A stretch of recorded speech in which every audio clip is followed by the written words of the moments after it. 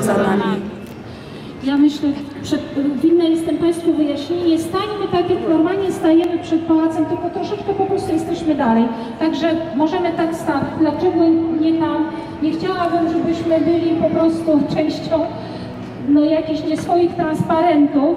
Generalnie co miesiąc maszerujemy tutaj spod e, katedry, pod Pałac Prezydencki. Marsz, w którym modlimy się o Polskę, o sprawiedliwość, o, o, o to, żeby osoby odpowiedzialne za śmierć polskiego prezydenta w Rosji były, e, no stanęły przed sądem, odpowiedziały po prostu, były, zostały ukarane, żeby ta zbrodnia nie pozostała bez kary, żeby nie była zachętą do bezprawia, zachętą do kolejnych e, aktów przemocy. Dlatego to jest e, połączone z modlitwą o państwo polskie, żeby państwo polskie się szanowało, żeby było prawe. E, Jest, e, jest z nami ksiądz Małkowski od samego początku. Modlimy się każdego dziesiątego miesiąca, niemal od 10 lat i nie przestaniemy, dopóki nie wymodlimy tej sprawiedliwości i prawdy i tego ta, takiego właściwego działania organów państwa. A modlitwa zanoszona w dobrej intencji będzie wysłuchana. Dziękuję. Jedziemy dalej, proszę księdza. Tak?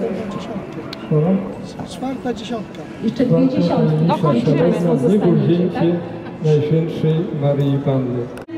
Zapraszamy wszystkich, żeby dołączyli tutaj do nas. Modlimy się w intencji ojczyzny, a także domagamy się prawdy i sprawiedliwości. Chcemy, żeby osoby odpowiedzialne za śmierć polskiego prezydenta na terenie Rosji 10 lat temu i 95 osób kluczowych dla suwerenności państwa polskiego, żeby osoby odpowiedzialne za śmierć tych ludzi odpowiedziały przed sądem żeby podle, podlegały uczciwemu, sprawiedliwemu procesowi i stanęły przed sądem zostały odpowiednio do winy ukarane. To jest e, modlitwa o Polskę, to jest modlitwa o to, żeby ta zbrodnia nie pozostała bez kary, żeby nie była zachętą do następnych złych czynów, żeby państwo polskie potrafiło zadbać o bezpieczeństwo każdego obywatela, a przede wszystkim a, lub też wśród e, również głowy państwa. This is the protest like every 10th of month since 10 years we demand justice, we demand truth, we demand that people responsible for the death of Polish president in Russia in uh, the 10th of April 2010 that uh, that people will be prosecuted and uh, uh, and uh, stay that they stay in front of the honest court. This is the pray prayer. This is uh, also the protest. We demand justice. Bóg jest nieskończenie miłosierny. Boże miłosierdzie najpierw ogarnia skrzywdzonych, prześladowanych, zabitych, poniżonych, odtrąconych, niesprawiedliwie skazanych na śmierć.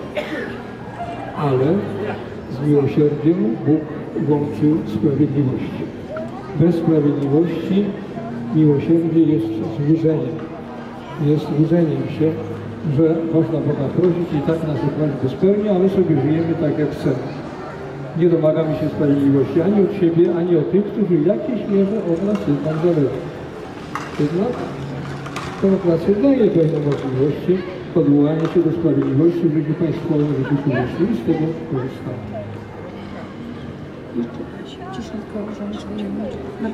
Jeżeli bardzo wytrzymacie, to jest to